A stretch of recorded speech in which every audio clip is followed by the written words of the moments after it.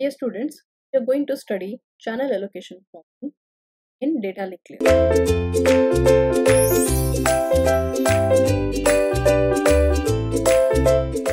Channel allocation means if there is a channel where the data has to be transmitted, on what basis the user can access the channel. The channel allocation is a process in which a single network channel is divided and allotted to multiple users in order to carry user specific tasks. If there are n number of users, n channel is divided into n equal sized subchannels. Each user is assigned one portion. There are two types of channel allocations. One is static channel allocation, another one is dynamic channel allocation. Static channel allocation.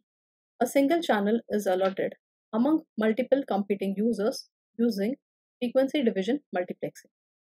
Since each user has a private frequency band, there is no interference between users.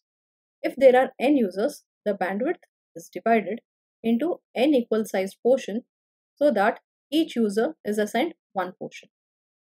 Dynamic channel allocation. Here, the possible assumptions are station model. It assumes that each of n stations independently produce frames. Single channel assumption.